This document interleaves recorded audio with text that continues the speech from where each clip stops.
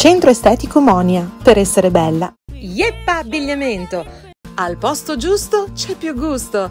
www.moranoleggi.com Elettrotaro Fornovo, televisori, elettrodomestici e tanto altro. Valfer, elettromeccanica, automazione e impianti elettrici. www.abiglobalservice.com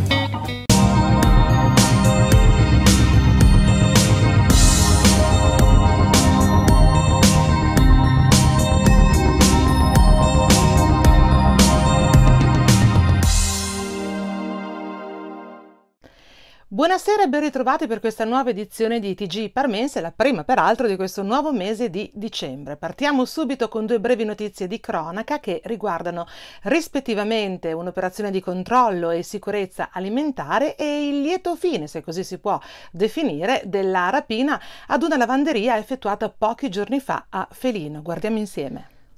I carabinieri della stazione di Sala Baganza hanno individuato e denunciato il responsabile del furto avvenuto a settembre presso la lavanderia a gettoni di Felino. Nell'occasione il ladro, introdottosi nottetempo nei locali dell'esercizio commerciale utilizzando un arnese da scasso, aveva forzato alcuni distributori automatici allontanandosi con circa 200 euro. I militari salesi avevano immediatamente acquisito le immagini dalle telecamere di videosorveglianza presenti sul posto e grazie alla conoscenza dei soggetti soggetti presenti sul territorio e a un minuzioso lavoro di comparazione di immagini e foto sono riusciti a risalire al responsabile, un cinquantenne già gravato da diversi precedenti. Nel corso di servizi di controllo dei carabinieri a Lesignano dei Bagni, nell'ambito della produzione e commercio di alimentari, è stato individuato un prosciuttificio dove, a seguito dell'ispezione nell'area di disosso e lavorazione dei prosciutti crudi, è stata riscontrata una partita di prodotti con evidenti segni di alterazione, in quanto invasa da larve e parassiti. Con il supporto del veterinario ufficiale dell'azienda USL di Parma, i militari hanno proceduto al blocco ufficiale sanitario di tutta la partita, quantificata in oltre 8 8.600 prosciutti crudi per un peso di oltre 80.000 kg. I prodotti ritenuti non idonei al consumo umano saranno distrutti con la sorveglianza dell'autorità sanitaria. Venerdì 26 novembre si è riunito il Consiglio Comunale di Collecchio, dove peraltro sono state presentate anche, come ricorderete, le dimissioni dell'assessore Elena Levati. In quell'occasione, vista l'appena trascorsa giornata di lotta contro la violenza sulle donne, l'assessore Costanza Guerci ha fatto il punto della situazione in questo senso nel nostro territorio, dall'inizio dell'anno fino ad oggi. E c'è ancora tanto da fare. Ascoltiamo le sue parole in questo servizio di Cesare Groppi.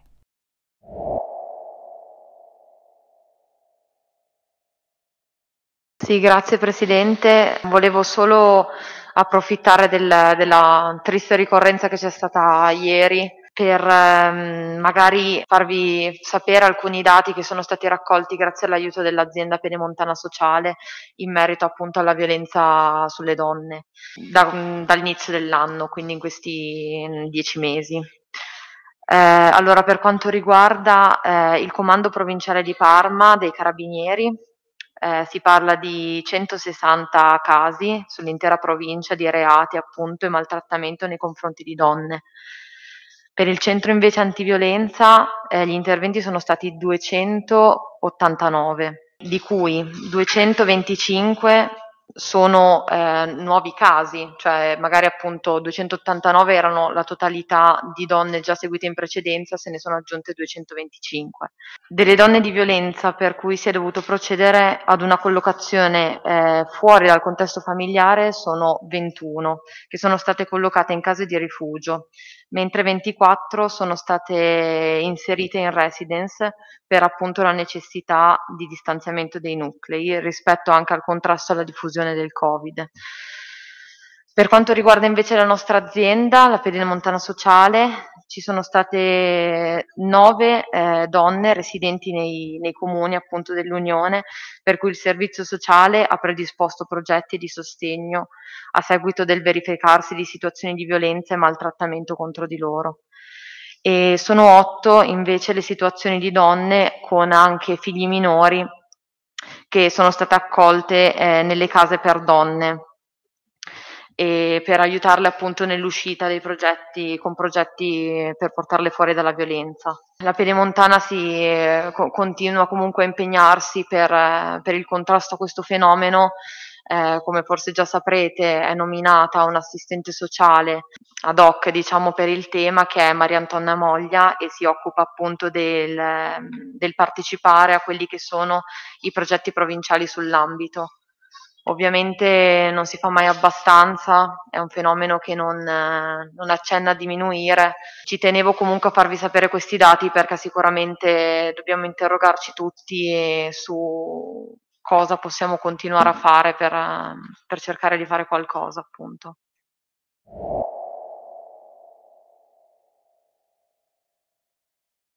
Sempre in tema di lotta contro la violenza sulle donne, una bella notizia che riguarda il comune di Traversetolo. Guardiamola insieme. La casa di accoglienza femminile di Traversetolo, rifugio sicuro per le donne vittime di violenza e i loro bambini, d'ora in poi sarà più confortevole grazie a Caritas, Carrello Solidale e alla generosità dei cittadini. In occasione della giornata mondiale contro la violenza sulle donne, l'associazione ha infatti donato alla struttura di proprietà del comune di Traversetolo e gestita da Pedemontana Sociale attraverso la cooperativa Gruppo Cooperativo Colser Aurora Domus un'asciugatrice acquistata con le offerte raccolte durante la messa di San Martino. Ci spostiamo ora a Fornovo, dove durante l'ultimo consiglio comunale, dopo l'intervento dell'assessore Cecilia Salterini e Teresa Gardelli del gruppo Fornovo Città Futura, è intervenuta con preoccupazione sulla situazione sanitaria alla casa di riposo Renato Vasini di Via Nazionale, naturalmente di Fornovo, la sindaca Michela Zanetti, dopo il recente focolaio di Covid-19 che ha non solo coinvolto i pazienti, ma anche alcuni addetti ai lavori con decessi per Covid tra gli ospiti della casa casa. Ascoltiamo le sue parole in questo servizio di Cesare Groppi. Noi nostri abbiamo avuto una, un incremento nei numeri dovuto appunto a questa situazione legata alla casa protetta, però generalmente ehm, c'è un piccolo incremento. La raccomandazione che è stata fatta dall'ASL eh, insomma, durante l'incontro settimanale eh, anche nell'ultimo, è quella di riprendere eh, con maggiore convinzione la, mh, tutte le, le, buone regole riguardanti l'utilizzo di mascherine e, e forse insomma anch'io per prima stasera non ho una FFP2, forse sarebbe meglio passare a qualcosa di un po' più mh, eh, performante dal punto di vista della protezione e naturalmente l'igiene delle mani e, dei, e generalmente eh, dei luoghi di comunità. Eh, a tutto questo si, si sommano altre difficoltà eh, relative a, a, che, a, quelle che sono le, le, influenze stagionali che iniziano a, a, mandare un po' in stress eh, un po' i sistemi di comunità, soprattutto le scuole che eh, insomma al primo sintomo isolano il bimbo e c'è tutta una filiera che si attiva eh, con, con, magari un po' di spavento, poi magari è semplicemente un'influenza. Quindi mh, per il futuro prossimo penso che dovremo ritornare a, ad essere molto più attenti, a rispettare le norme igieniche, non dico come l'anno scorso, gennaio-febbraio, ma più o meno eh, io sono molto preoccupata perché i segnali non sono, non sono, assolutamente tranquillizzanti in questo momento e forse l'idea di essersi vaccinati eh, ci, ci ha fatto sentire un po' più sicuri. Penso che si debba comunque mantenere un'allerta molto molto alta perché e poi naturalmente tutta la questione riguardante i non vaccinati che comunque costituisce un elemento sempre di, eh, di grande attenzione. Io mh, ho visto sulla casa protetta un grandissimo sforzo da parte dei, di ASL sicuramente che ha monitorato e continua a monitorare in modo molto, molto puntuale la struttura e gli ospiti, gli operatori e um, una, un grande sforzo da parte di chi ci lavora per essere eh, il più possibile eh, non solo a disposizione ma anche efficace in tutto, in tutto quello che è una, un ripensamento dell'organizzazione della struttura perché l'isolamento ehm, dei pazienti positivi ha richiesto veramente un cambio di logistica eh, e di procedure eh, veramente mh, molto impattante dal punto di vista dello sforzo organizzativo e anche della fatica da parte degli operatori ai quali sicuramente va tutta la nostra riconoscenza, si sono malati anche loro, quindi eh, sono comunque anche loro in difficoltà, chi è rimasto in servizio ha dato prove, continua a dare prova di grandissima dedizione al lavoro e di un grandissimo senso civico.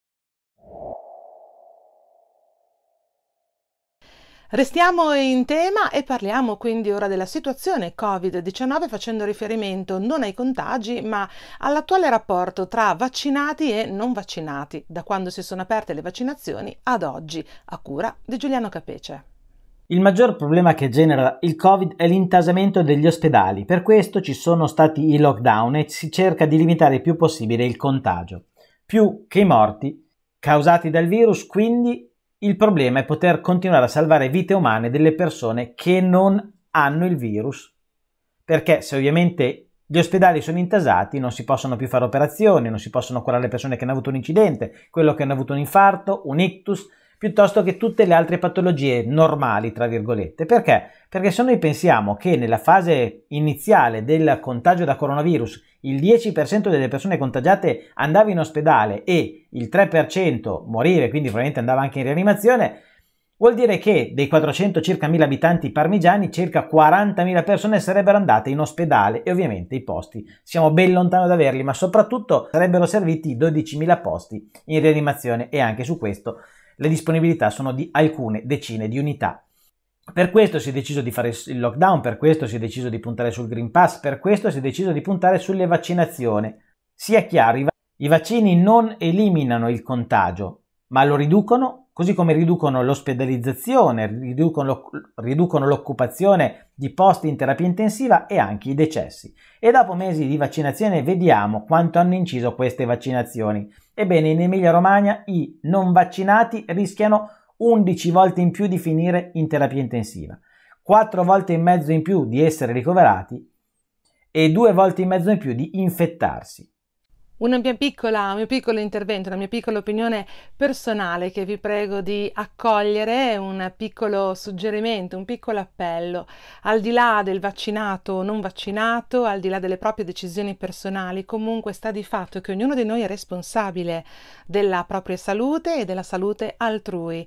Chi non è vaccinato deve comunque fare in modo di non mettere in condizioni eh, critiche o comunque di pericolo o comunque eh, in stabili chi ha vicino, chi è vaccinato ha il dovere morale comunque di non sentirsi libero nel modo più assoluto, ma comunque di continuare ad usare gli stessi accorgimenti che ha usato fino al, al momento del vaccino, perché troppo spesso si eh, incorre in episodi sgradevoli da, sotto questo punto di vista, dove con la scusa dell'essere vaccinato si eh, dimenticano le regole di eh, buona convivenza e di buona socializzazione e quindi le regole di sicurezza sanitaria non vanno mai dimenticate, così come del resto non bisogna approfittare del vaccino o non vaccino per dare credito o dare adito o comunque dare vita a forme di discriminazione da una parte o dall'altra. Cerchiamo di essere uniti in questa lotta che comunque eh, stiamo combattendo con armi molto forti e probabilmente riusciremo anche a vincere molto prima del previsto. Una mia piccola opinione personale che vi chiedo di accogliere con il cuore. Si è tenuta ieri sera al circolo, alla sala del Circolo delle Tre Torri di Medesano la presentazione del libro del presidente di Regione Stefano Bonaccini, Il paese che vogliamo, con la presenza naturalmente dello stesso Stefano Bonaccini e del sindaco di Medesano Michele Giovannelli. Eccone un estratto a cura di Giuliano Capece. Un grande successo nella serata di ieri al Circolo Tre Torri di Medesano la presentazione del libro del presidente della regione Emilia-Romagna Stefano Bonaccini, Il paese che vogliamo. Alla presenza anche del sindaco di Medesano erano presenti anche centinaia di cittadini del paese, ma non solo. Sala, una sala molto vasta, completamente piena nei posti a sedere, ma erano anche tante le persone in piedi. Tanti gli argomenti toccati, a partire dai piccoli comuni dell'Appennino, in cui si cerca di far capire quanto sia importante anche una parità di opportunità tra i grandi centri della regione e i piccolissimi centri del nostro territorio. Noi abbiamo messo a disposizione nel totale della legislatura 42 milioni di euro per gli impianti sportivi. Noi abbiamo finanziato 161 impianti sportivi di 161 comuni. Voi dice ma come mai uno uno? Perché prendemmo la decisione, che da, da dirla nei convegni si prendono gli applausi, poi andare a spiegare al sindaco di Parma che il sindaco di Bore potrebbe avere accesso a un impianto sportivo finanziato esattamente come a Parma, nonostante nel capoluogo siano ormai superati 200.000 abitanti e a Bore non arrivano a 700, ma l'abbiamo fatto perché volevamo, soprattutto ai comuni medio-piccoli, garantire investimenti che altrimenti eh, difficilmente ne avrebbero avuto accesso. Al tema della pandemia che ha profondamente toccato anche il territorio di Medesano.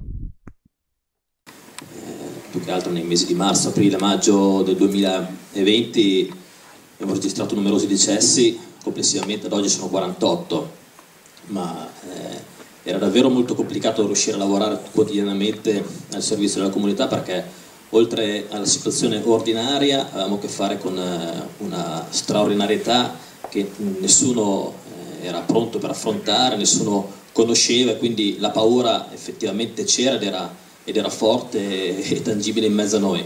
Poi per fortuna noi a Medesano abbiamo la forza di, di, di, emergere e di affrontare le cose di petto e sempre a testa alta e credo che la comunità si sia stretta attorno poi a quelle realtà che maggiormente soffrivano, che erano le realtà residenziali per anziani, no? ad esempio la casa protetta Patrioli dove purtroppo tante persone hanno perso la vita, piuttosto che il centro diurno qui, la struttura semi-residenziale, da dove probabilmente è partita tutta diciamo, la, la pandemia qui a Medesano, quindi abbiamo davvero fatto fatica, ma insieme ne siamo usciti più forti, credo, perché poi testim- le testimonianze di vicinanza eh, della, della, cittadinanza sono state tantissime, soprattutto nei confronti de, del mondo del comitato locale di Croce Rossa. Vedo qui il presidente Calì e il vicepresidente Minotti che vorrei ringraziare per il lavoro che con i loro volontari hanno fatto straordinario al servizio al servizio delle nostre, delle nostre, comunità perché poi ad un certo punto loro andavano dal Po fino alla Cisa a fare servizi perché quando era piena emergenza per fortuna noi qua abbiamo tanti mezzi messi a disposizione anche di tutta la provincia di Parma e loro non si sono mai sottratti né per Medesano né per i territori di tutta la provincia a fare il loro, il loro dovere che era fatto con il cuore perché poi avevano dovuto mettere diciamo come dice sempre eh, Gabriele in panchina gli over 65 perché in quel momento non potevano essere a disposizione per ovvi motivi e quindi i giovani, i volontari, quelli più giovani di età, si erano messi davvero in gioco e hanno fatto di tutto per soccorrere le persone che avevano bisogno. Ed ora qualche istante di pubblicità, ci ritroveremo subito dopo con la rubrica del benessere, parleremo di udito, parleremo di altre patologie che possono riguardare anche i nostri bambini e parleremo anche dei primi appuntamenti che cominciano a defilarsi in prossimità delle prossime, scusate il gioco di parole, eh, prossimi appuntamenti festivi, delle nostre festività di questo mese. A fra poco quindi, subito dopo la nostra pubblicità. Centro Estetico Monia. Per essere bella ogni giorno di più. Varano Melegari. Yeppa! Si sta avvicinando il Natale. Se stai pensando ai regali, Yeppa Abbigliamento. Lo trovi a Varsi e a Bardi. Cerchi un ristorante pizzeria in Valceno? Al posto giusto c'è più gusto. Ci trovi in Piazza Monumento a Varsi.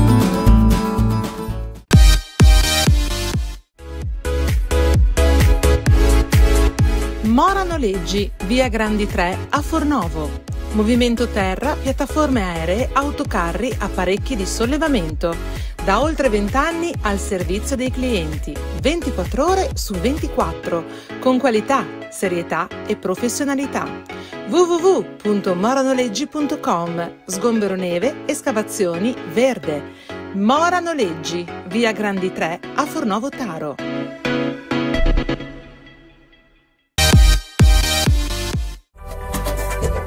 Valfer, elettromeccanica, automazione e impianti elettrici. A Parma, Lemignano di Collecchio, strada privata del commercio 13. Oltre 30 anni di attività nel settore dell'impiantistica e automazione industriale. Progettazione, costruzione di linee con gli standard tecnologici e di sicurezza più aggiornati. In Italia e nel mondo con personale altamente qualificato. Valfer, Lemignano di Collecchio, strada privata del commercio 13.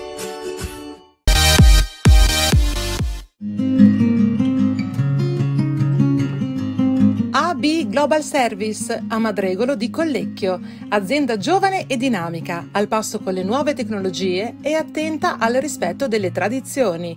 Vasta gamma di servizi, dalla manutenzione del verde, asfaltatura, manutenzioni stradali, servizio di pronto intervento, movimento terra, demolizioni, lavori edili, sgombero neve e lavori agricoli.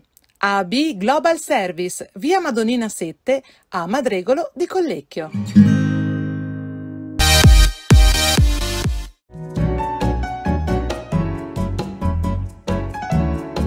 Il Ghiotto, da 40 anni nella ristorazione, a Viazzano e a Fornovo. Cibi freschi e genuini, soluzioni personali per scuole e somministrazioni in azienda. Pasti di altissima qualità con prezzi da mensa. Il Ghiotto, quartiere artigianale a Fornovo Taro in via di Vittorio 48 e a Viazzano ai piani di riva 8.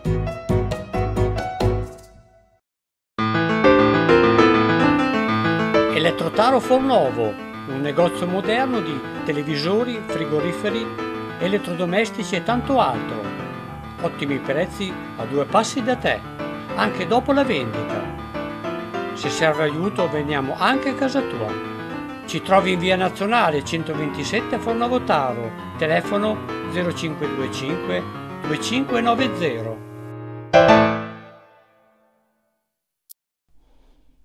Ben ritrovati gentili telespettatori ed ora come già annunciato l'angolo del benessere a cura di Morena Canali. Parliamo di udito.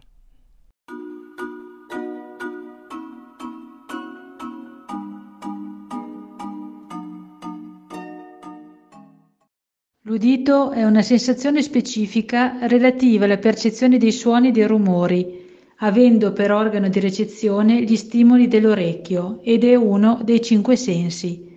È grazie all'udito che possiamo partecipare in modo completo a tutto ciò che accade intorno a noi e condividere le emozioni più belle con la famiglia e gli amici. Abbiamo bisogno di ascoltare ed essere ascoltati. Il benessere dell'apparato uditivo dunque va salvaguardato Capire come funziona e come intervenire in caso di calo dell'udito è di grande aiuto per mantenerlo in salute. L'apparato uditivo è composto da tre parti, l'orecchio esterno, medio e interno. L'orecchio esterno comprende il padiglione auricolare, la parte più visibile, ed il condotto uditivo esterno. Il medio è composto dalla membrana timpanica e dalla catena dei tre ossicini, martello, incudine e staffa. Gli ossicini amplificano i suoni in arrivo e li trasmettono all'orecchio interno che attraverso il movimento delle ciglia convertono le onde sonore in segnali bioelettrici che attraverso il nervo acustico giungono al cervello dove nasce la percezione uditiva vera e propria. L'esposizione prolungata e frequente ai rumori rappresenta un pericolo per l'udito. L'intensità dei suoni potrebbe danneggiare le delicate strutture dell'orecchio interno. Per tale ragione è fondamentale prendersene cura del proprio udito facendo prevenzione. Tramite l'esame audiometrico non invasivo è possibile definire i livelli di soglia uditiva e conseguentemente i diversi tipi di perdita uditiva. La comunicazione parte non dalla bocca che parla, ma dall'orecchio che ascolta prendiamocene cura.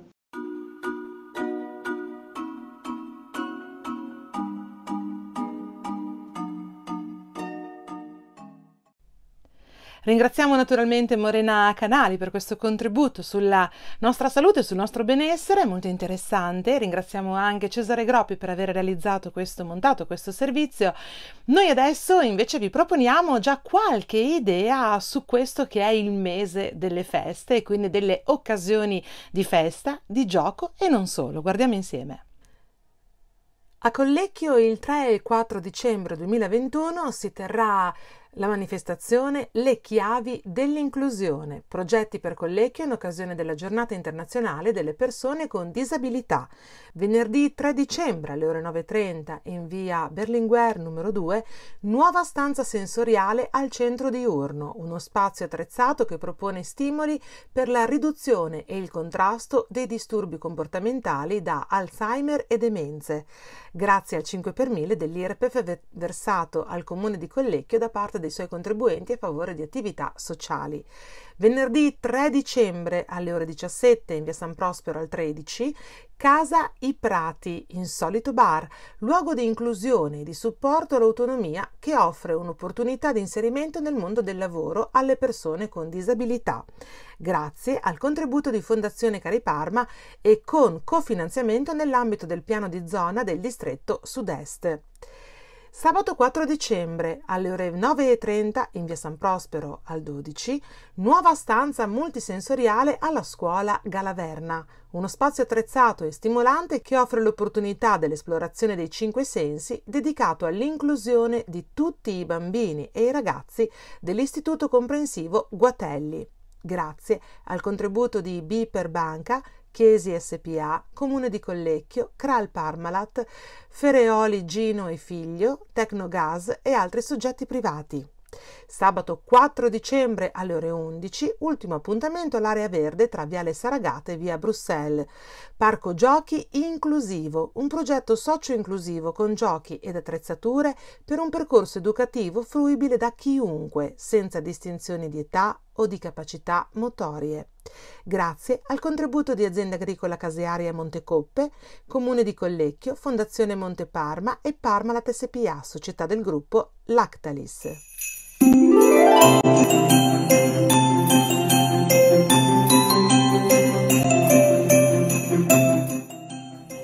Ciao bimbi da Nicoletta e Costanza, ma ormai ci conosciamo. Anche quest'anno, in occasione del piccolo festival dell'inverno, vi terremo compagnia ogni giovedì di dicembre con i nostri racconti. Per chi potrà venire, vi aspettiamo in biblioteca alle ore 16 ma non lasceremo sola nessuno perché le nostre letture saranno anche online, sempre alle ore 16 sulla nostra pagina Facebook. Vi aspettiamo! A presto!